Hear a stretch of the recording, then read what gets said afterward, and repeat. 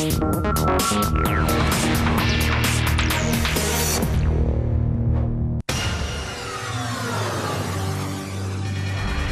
съдействието на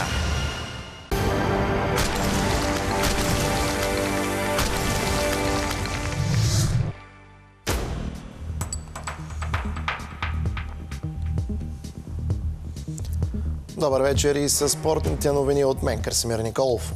Отборът на Черноморе продължава по план своята подготовка за предстоящия първи матч от група А на втората осмица срещу състава на Пирин Благоевград, който е този петък от 20 часа на стадион Тича. Още вести от лагера на моряците. Отборът на Черноморе продължава по план подготовката си за първия матч от група А на втората осмица в първата ни професионална футболна лига срещу Пирин Благоевград. Като двобоят е този петък от 20 часа на стадион Тича. Варници до момента имат в актива си 27 точки, а рулетата 26 и това може да се окаже пряк сблъсък за второто място в групата. Тук лидер е Славия с 32 пункта, на дъното с 8 точки е Витоша Бистрица. Първите два отбора от тази група ще продължат битката за плейофите в Лига Европа, а последните два ще се борят за оставане в елита. Стана ясно също, че халфът на моряците Мариан Огнянов се очаква да се завърне на терена в средата на месец май. В момента единият крак на Огнянов е обездвижен с шина за 20 дни заради частично разкъсана връзка на коляното. В средата на април той започва раздвижване и рехабилитация, а в края на месеца или в началото на май ще поднови и пълноценни тренировки. Юношите старша възраст на Черноморе се класираха за финала в турнира за купата на Българския футболен съюз, след като елиминираха Берое след 0 на 0 у дома и днес 1 на 1 в реванша в Стара Загора. Така с гола си на чуж терен те стигнаха до битката за трофея, който ще бъде на 26 април срещу състава на септември София. Юношите и старша възраст на Черноморе се класираха за финала в турнира за купата на Българския футболен съюз. Набор 2000 на моряците стигна до последния матч от турнирата на превара, след като устрани състава на Бероя. В първия матч във Варна възпитаниците на треньора Николай Канчев завършиха 0 на 0. А в реванша днес Стара Загора направиха 1 на 1. Така с гол на Чущерен, варенци ще спорят за трофея срещу тима на септември София, който устрани Левски в другия полуфинал.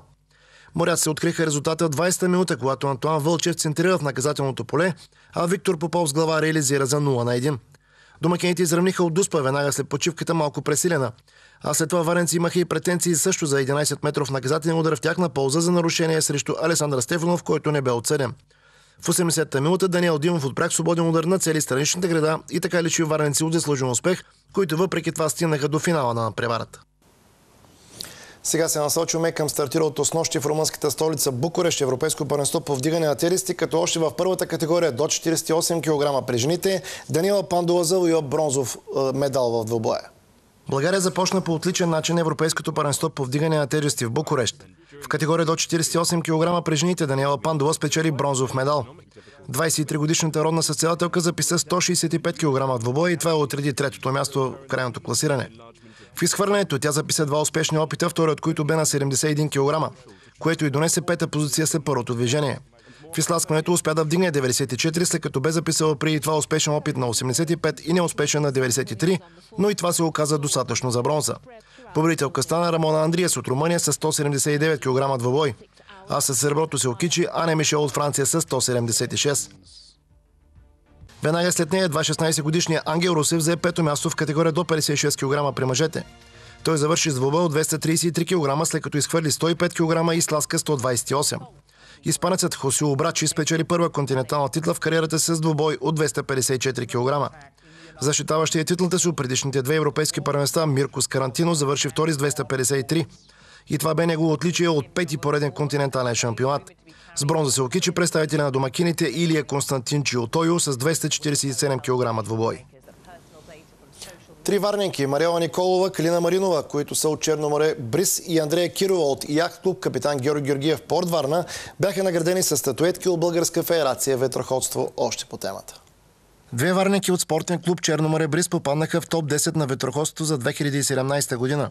Мариела Николова и Калина Маринова бяха наградени с статуетки от Българска федерация по ветроходство на церемонията, която се проведе в Министерството на спорта, преди общото годишно събрание на федерацията.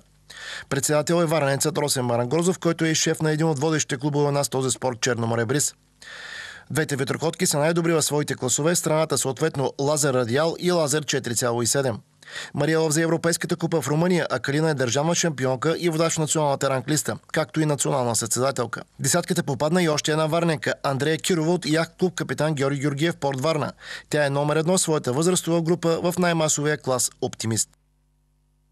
Сега продължаваме семената на призорите от завършилото в първа езикова гимназия във Варна държавно първенство по стрелба с лък, което бе организирано от Общински спортен клуб Млади стрелци и родната централа в този спорт. На държавното паренство по стрелба с лък, което се проведе спортната зала на първа езикова гимназия във Варна, 96 състезатели от цялата страна в категориите момчета и момичета до 11 и 14 години, както и кадети и кадетки премериха сили. Домакините от клуб Млади стрелци завоюваха медали и в трите категории. При момчета до 14 години Давид Данев от Варна стана шампион на България, завоювайки златния медал с актив от 579 точки от 600 възможни. Станислав Стамов се нареди 6, а Кристиан Тодоров остана 13. И тримата успяха да завоюват сребърната купа в отборната на превара.